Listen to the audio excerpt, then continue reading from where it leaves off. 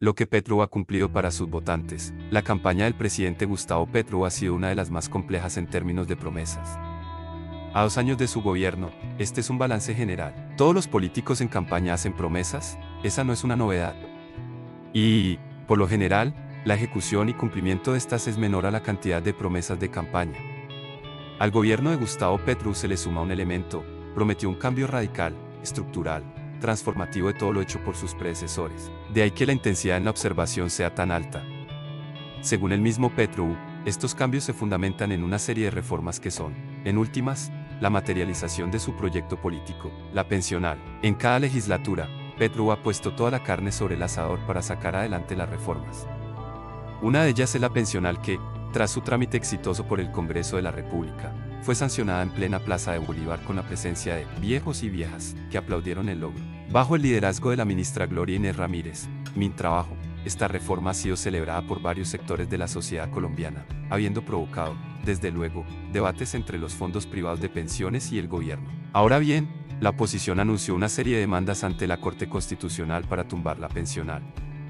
En ese sentido, analistas señalan que la reforma no está del todo a salvo, aunque, habiendo sido sancionada por el presidente, tiene más posibilidades de ser implementada en su totalidad. El analista Carlos Andrés Arias, de la firma Estrategia y Poder, dijo sobre este punto, aunque puede considerarse un acierto por acoger a millones de adultos mayores, la misma es insuficiente a mediano y largo plazo señala que esta reforma obligará a realizar una nueva en poco tiempo debido a que muchos jóvenes quedarían fuera del sistema y por la dificultad de sostener las edades de pensión actual.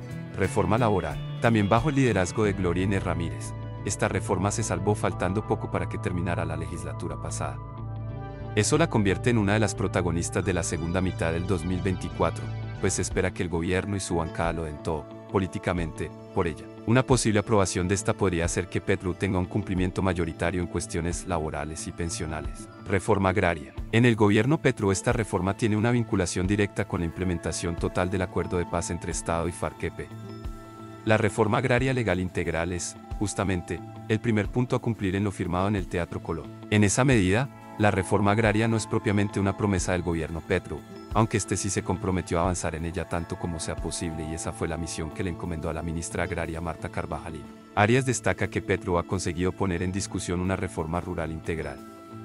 Sin embargo, critica que su retórica no se traduce en acciones concretas, ya que pierde vista la concertación y los marcos legales necesarios. Se queda en el deber ser y no en el hacer.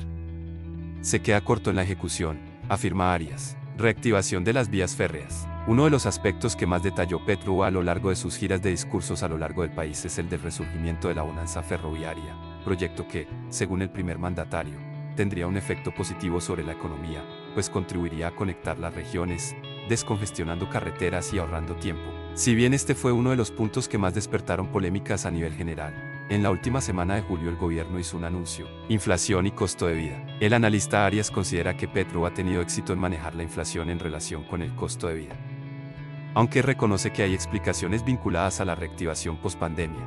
Destaca que la baja de tasas de interés ha mejorado las condiciones para los colombianos y ha reducido el pesimismo sobre la percepción de un mal gobierno, a pesar de que esta percepción sigue siendo creciente.